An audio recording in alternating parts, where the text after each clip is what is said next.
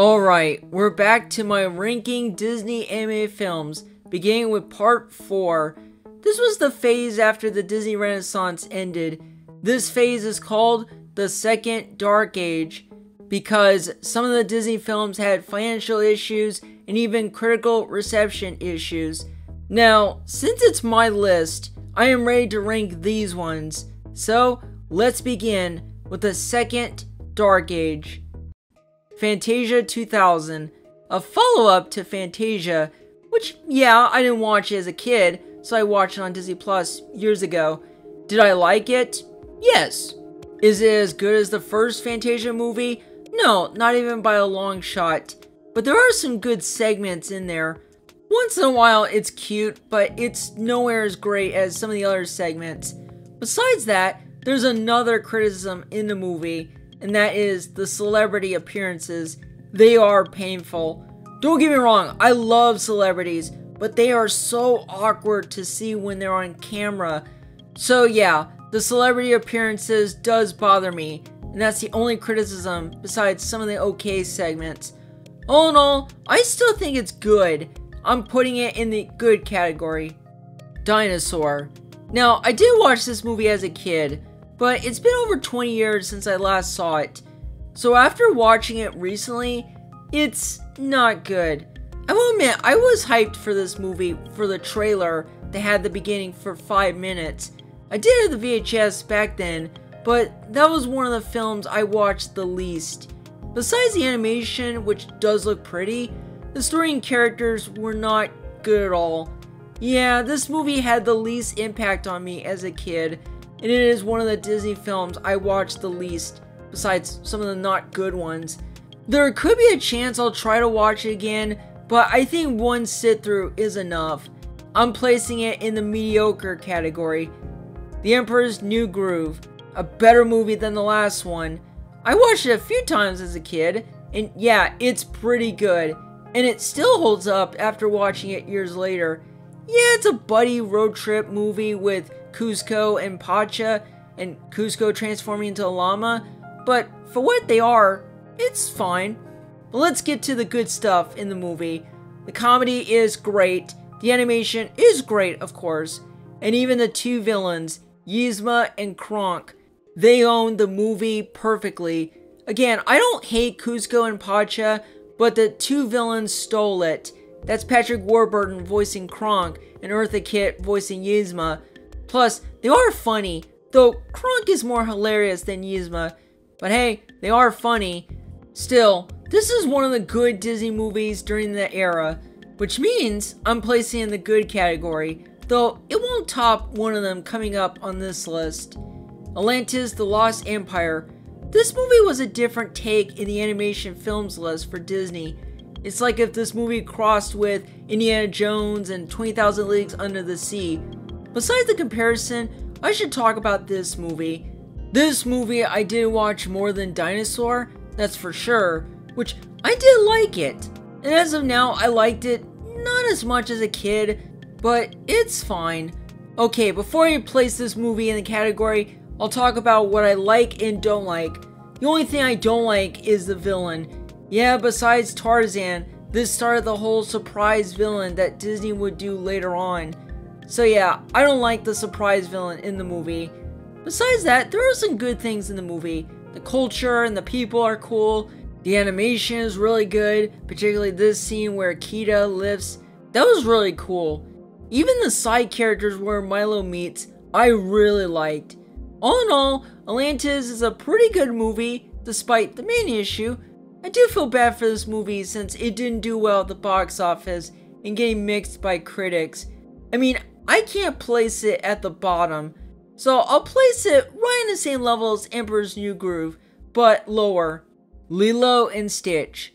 Out of all the films on this list, this one stands out the most. I did remember liking as a kid, watching it since this was close to an ET movie. Now that I'm older, I like it a bit more. I should talk about Lilo and Nani. I mean, yeah, they did have good relationship, but I thought Lilo and her new friend Stitch had more relationship. After all, it is the title of the movie. But I can understand Lilo and Nani stand out because Nani is her sister and she's trying to be a parent to take care of her sister since they don't have parents. This is the kind of situation I really liked in this movie when I got older.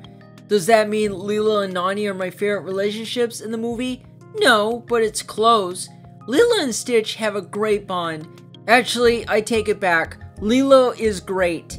For a character that Disney tried to do, and they did a really good job making Lilo a great kid character, Stitch is cute. I didn't find him scary or uncomfortable. He was a cute creature. The aliens, Jumba and Pleakley, are fine. They didn't ruin the whole film. Some of the alien stuff is fine. The animation is actually good, though not as the same level as Atlantis. The watercolor background was actually pretty rare and a nice comeback for Disney, and I did like they used Hawaii in the movie. All in all, this movie is a pretty good one, and definitely the best one that came out during the 2000s. And while it's not in my top 10 favorites, I'm gonna place it on the good category, but way higher than you'd expect. Treasure Planet, a movie that has a futuristic vibe and it's Treasure Island. Instead, it's Treasure Planet. So yeah, let's get to some highlights. The characters are pretty good, and even the relationship between the characters is great. As for the not good ones, the setting. Yeah, the movie takes place in the future, which that's fine, but it could go all out. But yeah, that is distracting. Didn't mind Hawkins flying on his parasailing thing. So yeah, the setting is the major problem with the movie. I guess they did want a different take on the movie. But for what it is, the movie is fine. I didn't remember liking it as a kid, and yeah, I like it fine as an adult. Like Atlantis, it didn't do well at the box office, which yeah, it could have been great for any audience out there. Besides that, I like it fine. I'm placing it in good, but lower than Atlantis despite the setting. Brother Bear. Alright, let's get to this one. I didn't see this movie when it came out that year. I mean, come on. Finding Nemo came out the same exact year. I wanted to see that one instead of Brother Bear. A couple years later, I finally watched it, and I didn't like it. Now I watched after 17 years, I still don't like it. However, I will give the film credit for the beginning. He had the myth and the culture and even the people, something that Pocahontas almost tried. So yeah, I did like that. And even the ending with a good setup.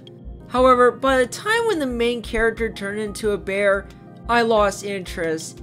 The songs were not good. Yeah, thank you Phil Collins for ruining the songs. I thought the songs from Tarzan were better. Also, Koda the bear was also annoying. So yeah, the middle part where the main is a bear suck. And yeah, it's definitely one of the lower Disney anime films. The only parts I liked were the beginning and the ending. But other than that, it won't save it. I'm placing the movie in the mediocre category if it didn't have good stuff, it would have placed it as bad. Home on the Range. this is the worst Disney anime movie I've watched. Before I place it, let's get to my memory with the movie. Like Brother Bear, I didn't watch it when it came out until I watched it in 2005. I thought it was alright when I first watched it. The more I look back at it, the more I dislike it. Now, it doesn't mean that this movie is in my top 10 worst movies I've watched. No, I've seen worse. Home on the Range is the worst by Disney. I don't know if anyone had memories watching this movie. Anyways, what's wrong with Home on the Range? First thing is the tone of the movie. And I'm gonna sound crazy, but Home on the Range just aims for kids. And I mean little kid standards. That's right, this movie is not for adults the humor, the writing, the characters, and even the animation style. And I can understand why Disney can hit for both the kids and the adults. Here, no, it's mainly for little kids. Second is the way it's all bouncy and smiley and colorful it is. Ugh. So, yeah, I don't like this movie. There's not much else to say other than it's bad. I'm placing it in the bad category First one on the list for Disney Chicken Little. Well, Home on the Range is the worst on my list. Chicken Little is another mess for a Disney movie. While it is the first 3D movie by Disney itself and not Pixar, this movie has a lot of misses than hits. The main lead and the side characters are okay, but the town people and Cluck's father are unlikable. The premise is weird, and yeah, it's based off the fable, but there are a lot of confusing jokes and lacking focus. It's not really engaging. It did have good intentions, but it didn't try. While I did watch it as a kid, I wasn't a fan of it since I watched it for the first time. And yeah, I still don't like it now that I'm older. I'm gonna place it in the bad category, but above Home on the Range since it's not quite close. Meet the Robinsons. Like the other three where I did watch them, Meet the Robinsons, I didn't watch it when it came out, and I didn't buy it on DVD later on because I was getting older. Yeah, Pixar was on fire during that year with Ratatouille. Meet the Robinsons, I had to skip. So after watching on Disney Plus years ago, how was it? Yeah, it's eh. Like Chicken Little, it has so many problems, way too many jokes, and too many characters that don't have a lot of focus. I will admit, the movie did have a simple message. That's the only highlight in the movie. I won't give it away, but there's a message at the end of the movie with a quote. So yeah, I guess you could say that I'm happy I didn't watch it back when I was close of turning to a teenager. Still, I think one time is good enough. I'll place it in the mediocre category, but lower than Brother Bear. Bolt. Now, this one was a pretty good one. Yes, I didn't watch it when it came out because I was in that phase of not watching family films, but man, I should have watched it. The opening is like freaking cute. But it's not just that, it has enjoyable story and characters and action packed animation. The voice acting is pretty good. John Travolta voices Bolt, and that's a pretty good casting. He's very likable and energized. And Miley Cyrus voices Penny, which that's fine to pick her. The only issue is the comedy, which it would have been nice to give it a few more laughs, but maybe they couldn't.